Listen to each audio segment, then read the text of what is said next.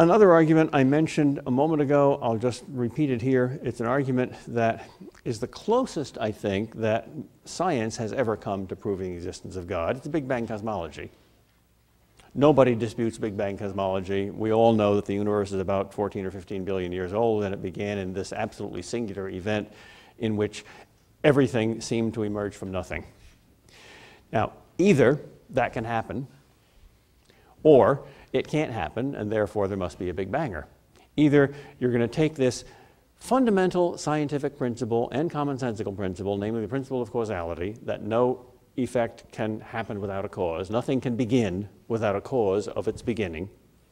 Either you're going to take this principle and apply it to the most important event that ever happened, namely the origin of the universe, or you're going to junk that principle when push comes to shove. Suppose you saw a large purple rabbit suddenly appear on this desk. Would you say, oh, well, rabbits happen? No. It had to have a cause. What was the cause? Well, there's no apparent cause. We're not out on the field, and rabbits aren't usually very large and purple.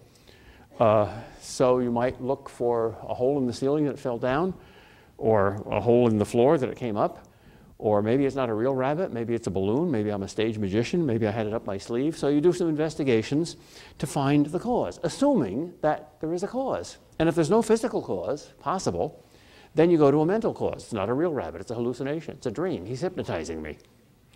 And if there's no physical cause and no mental cause, you don't then say, oh, well, rabbits happen.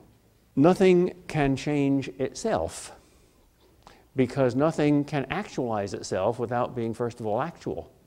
You can't give what you don't have. That's the basic principle of causality. There can't be more in the effect than in the cause. That's a basic principle of all commonsensical and scientific explanation. You're going to say, well, I can't believe that rabbits happen, but I can believe that universes happen. That takes a lot of faith, seems to me. I don't have that much faith.